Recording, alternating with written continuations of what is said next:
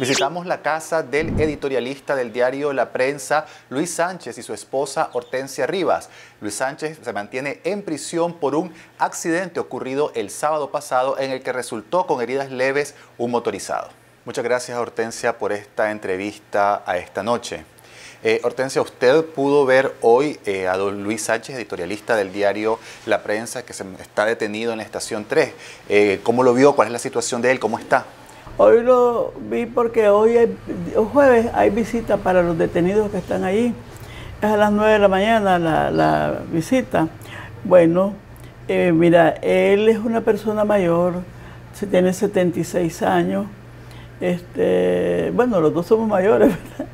Este, es diabético, es hipertenso y padece bronconeumonía.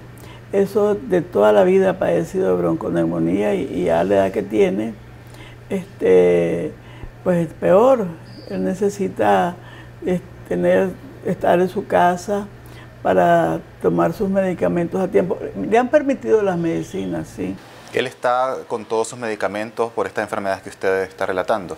Los medicamentos se los he ido llevando poco a poco. Primero le llevé para la diabetes, y para la hipertensión. Después le llevé un spray que se pone para los bronquios y ahora le llevé unas pastillas para la misma, que el neumólogo, le recetó varios medicamentos para controlar esa bronconeumonía de que él padece. Eh, ¿Qué le ha narrado? ¿Ha sido bien tratado? ¿Ha recibido algún tipo de maltrato? No, no lo han maltratado.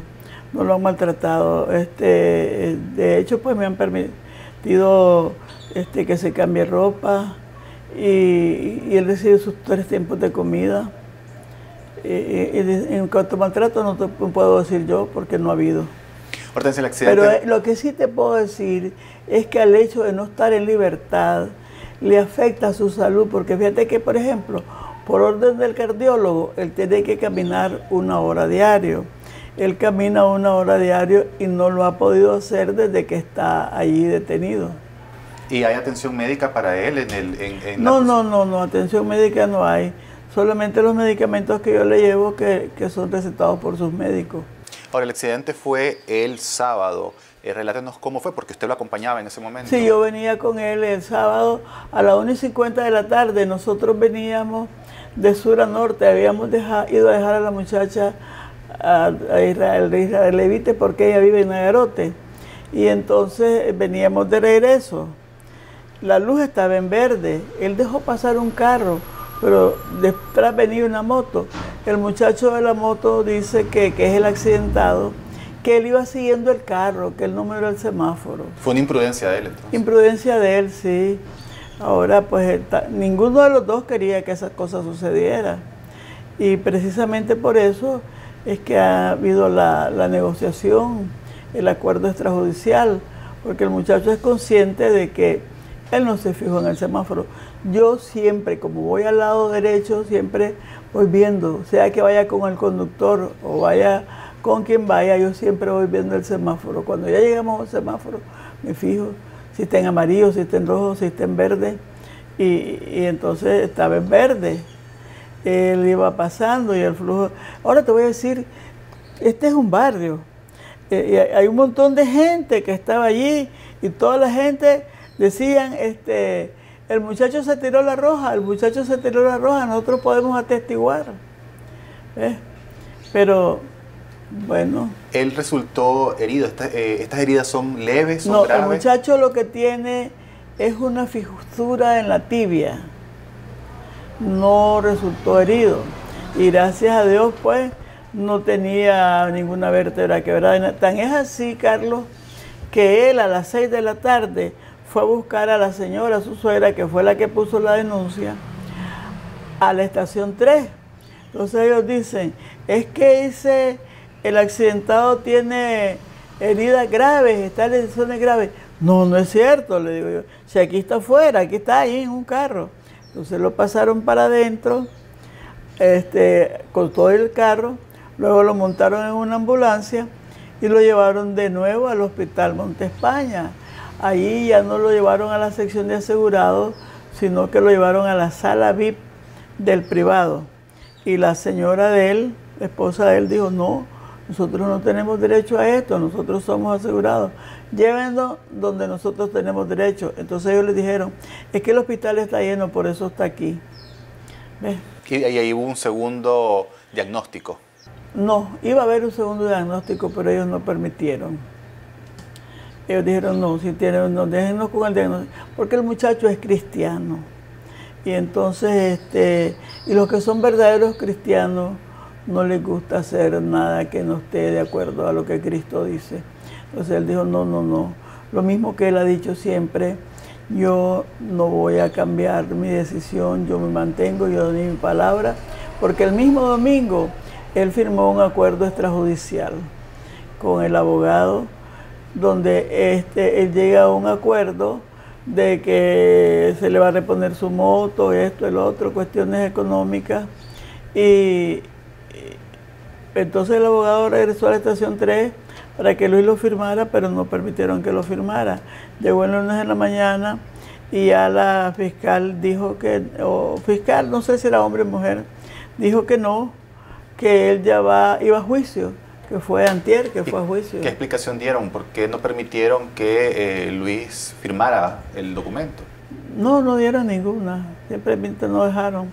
Entonces ya después, este, el primer abogado era el hermano de mi marido, pero ya a partir del, de antier, ya tomó el caso, mejor dicho, el lunes en la tarde, tomó el caso el abogado Manuel Martínez, que es penalista, y él ha estado llevando el caso siempre eh, como un accidente, porque eso es lo que hubo, un accidente que como te digo no hubiera sucedido si el muchacho se hubiera fijado en el semáforo. Cuando ocurrió el accidente, eh, a los minutos llegó la policía.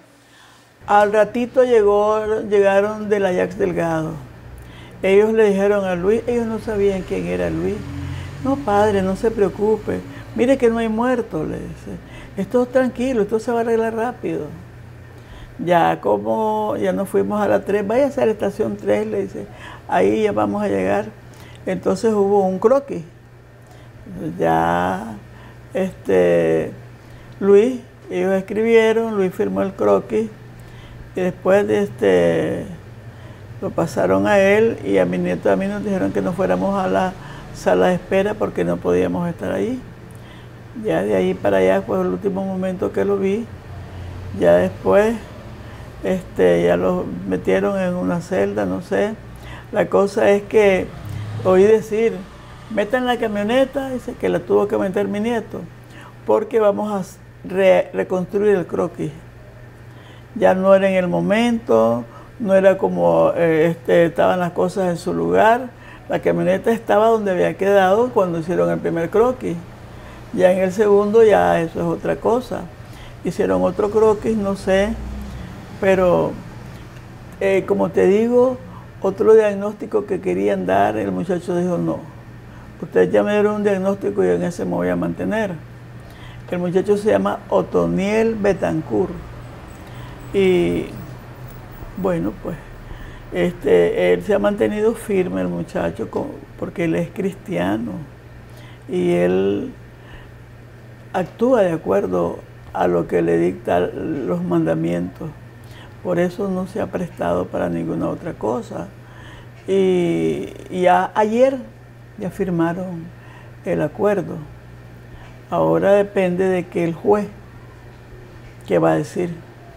¿Por qué cree usted que eh, se ha dado este trato contra eh, don Luis, tomando en cuenta de que estaba este acuerdo y de que podía haber una eh, resolución entre las partes? Claro, ah, no, a mí me extraña eso porque este, estuve leyendo ahí las declaraciones de Gonzalo Carrión que dicen que aún cuando ha habido muertos y todo como y no pasa nada. Y, y en este caso que son lesiones leves. Porque, por ejemplo, a, las diez y media de la noche me dijo un oficial, era capitán creo, mire, me dice su esposo que ha detenido porque hay lesiones graves. No, le digo, no son lesiones graves, son lesiones leves. Nosotros ya tenemos información del hospital que lo que tiene es una fisura en la tibia. Entonces él no me contestó nada, solo me dijo, bueno, el lunes va al Ministerio Público. ¿Usted cree que esto se deba al hecho de que eh, don Luis Sánchez es editorialista del diario La Prensa, eh, que da la posición de opinión de este periódico, que es el principal de Nicaragua, y que además formó parte de la Alianza Cívica en la mesa del diálogo? No debería de ser, porque no, este, eh, él, este solo escribe el editorial. Él ya con la edad que tiene, ya no anda en nada. Es más, cuando estuvo en, el diálogo, iba un rato en la mañana, algunos días, otros días no iba, porque él es muy responsable con su trabajo y le daba más importancia a su trabajo. De todos modos, en el diálogo hay personas muy capaces, muy honestas. Tenemos al doctor Tunerman. toda esa gente que está en el diálogo es gente competente que no necesitaban que, y como él se, se salió ya desde junio que se cerró eso, él se salió de la Alianza Cívica porque por falta de tiempo y que hay que reunirse aquí, que hay que reunirse allá y entonces dice a qué horas escribo el editorial. Este, pero esta gente ha manejado muy bien la cosa, la gente de la alianza.